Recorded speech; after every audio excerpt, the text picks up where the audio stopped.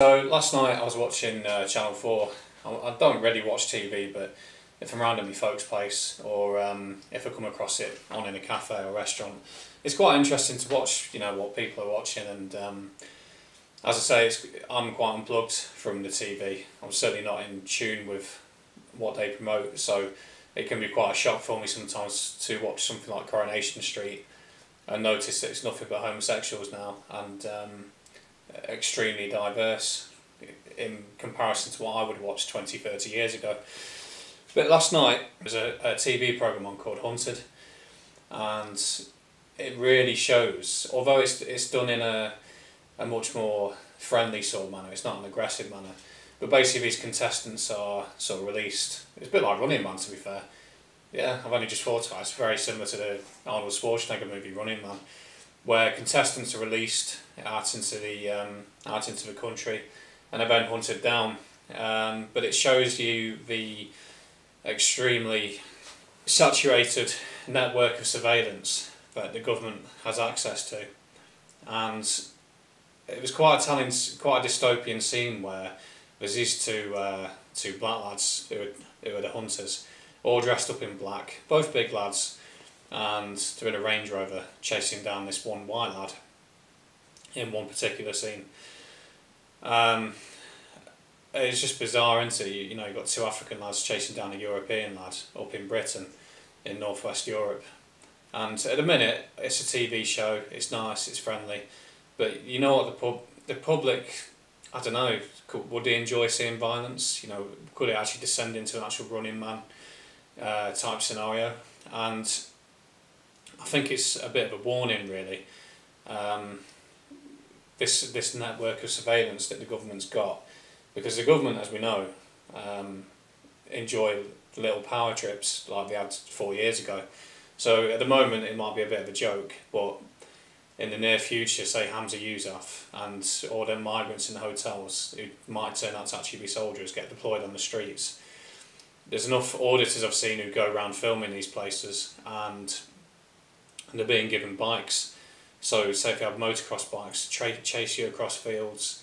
So say for example in, in the near future if you don't take part in another procedure that comes around or like up in Scotland with Humza Yousaf where you say the wrong thing and it becomes more and more totalitarian and you, you know you have more and more hate speech laws and etc. And uh, with this high tech mass surveillance state that, that we've got now, you could quite easily be chased down, couldn't you? And um, well, I'm probably looking at a, bit too much of a grim future. Maybe it won't get to that point, but there's always that possibility now. You know, if you had been in London in 1948 and you had said that the Windrush generation that were turning up would one day be the majority in London, you would have been called a conspiracy theorist. And uh, if you had said that one day they'll be in the driving seat, well, nowadays you've got Rishi Sunak, Humza Yousaf, uh, Leo Varadkar in Ireland, that black Welsh uh, First Minister. So obviously, again, you would have been called a conspiracy theorist, but now obviously it's been proven right so perhaps uh, questioning things is very important and um, so that's why I'm making this video now. Uh, it's my own observations, it's my own intuition, my own instincts that it just doesn't feel right. Um, but in between the adverts, on the adverts, you had the 1984 audiobook being promoted, which has reached its 40th, um, what would it be? It's its 40th anniversary since the first entry date of uh, Winston Smith's diary, you know, 4th of April 1984. And of course it'll be 76 years roughly since that book was wrote, so last year was actually a bigger year, 75 years on.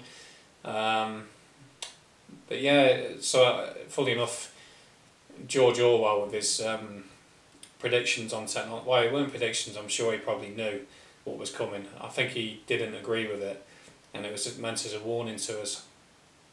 Obviously, people don't pay attention, but then again, it's a very famous book, and people still use it. Like the term Orwellian, Orwellian times. I'd say out of the dystopian visions of the future, though, Aldous Huxley is probably more correct with Brave New World. Uh, I'd say we're much closer to that. Um, the thing is, Brave New World with all its technology, uh, that had to come in first because, and also to soften everybody up, get them away from Christianity, which warns of these times that we're going to be living in. Um, obviously, disperses the moral foundations of that religion and that mindset. And uh, that was the original intention to get people in nightclubs, get people drinking themselves to death, sometimes literally. Um, yeah, so that was the initial Brave New World, and also uh, promiscuity, and obviously as a result you've got um, broken up families now, which leads to broken up communities. The multicultural aspect of loving each other, it's a false love though, because naturally people end up segregating themselves anyway. So you end up like a mini world within the UK, as opposed to the world being spread across the world. Um, these are all things that came in during the Brave New World period that the boomers lived in. You know, the flashing lights, the concerts, and obviously that like that still exists. But the, the problem is now, post twenty twenty, we know this is uh, that final bit before the sun sets, um, and then we really do go into nineteen eighty four.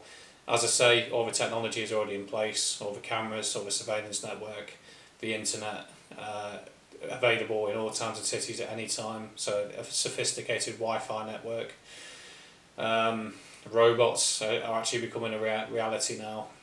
These were all Brave New Worlds sort of themed inventions uh, presented in a jolly, sedated sort of state.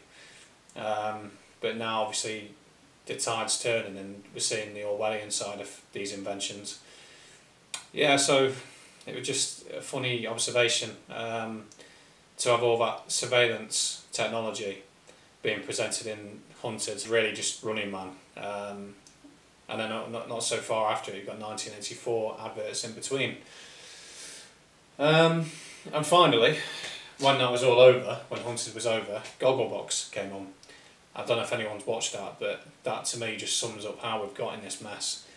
Um, too many people sat on their asses, nice and cosy, watching uh, drivel on the TV being programmed by programs, and it's the end result of how we've got here, really, because of things like uh, Gogglebox, the Gogglebox culture, should we call it.